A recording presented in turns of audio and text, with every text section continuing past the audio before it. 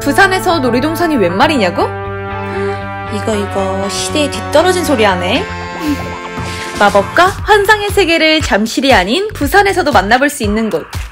오늘 내가 남친이와 최애로 재밌게 놀고 온 부산 롯데월드의 매력을 짧게 소개해줄게. 첫 번째는 남친이와 인생샷을 원 없이 남길 수 있어. 롯데월드 성악 토킹트리 앞 놀이기구 안 분수대 앞 부산 롯데월드 안에서는 인생샷 spot이 너무 많아. 어트랙션 탈 시간이 없어도 행복해. 두 번째는 우리 커플이 동화 속에 온 것처럼 느껴지는 퍼레이드야.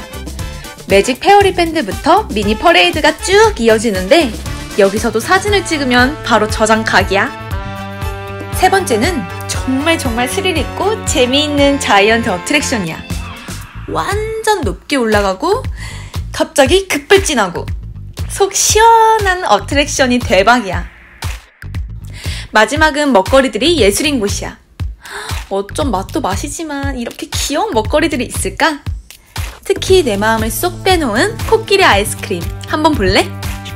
정말 예쁘지? 남친이와 같이 먹으니 더 맛있고 좋았어. 부산 롯데월드에 남친이만 오면 정말 정말 웃음이 끊이지 않고 재밌게 놀 수 있어.